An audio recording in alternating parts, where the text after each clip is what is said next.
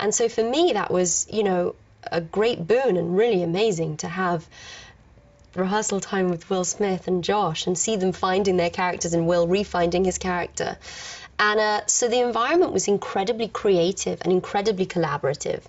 And, you know, sometimes Will would rap for us, and that would break tension, and then we'd start working again.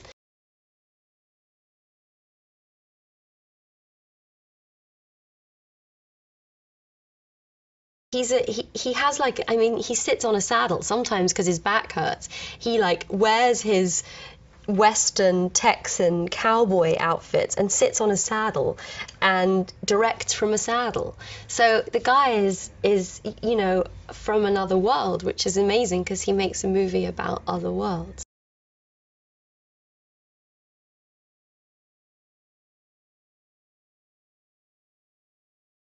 she is a powerhouse herself. She's an incredibly intelligent woman. I mean, the only woman, if not the only person to have won an Oscar for both screenwriting and performing. So, um, so yes, quite right too that she brings that energy to the screen.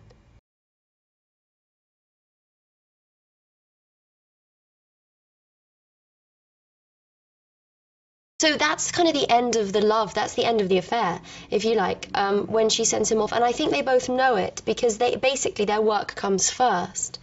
Um, they're servants of a greater cause than love and themselves. It's sort of a universal mission that they're on. And so when she sends him away, she knows that she'll never love like that again. It's so sad. It makes me sad now. She sends him away and she knows that she'll, she'll never have that love again. And I think he really is the love of her life.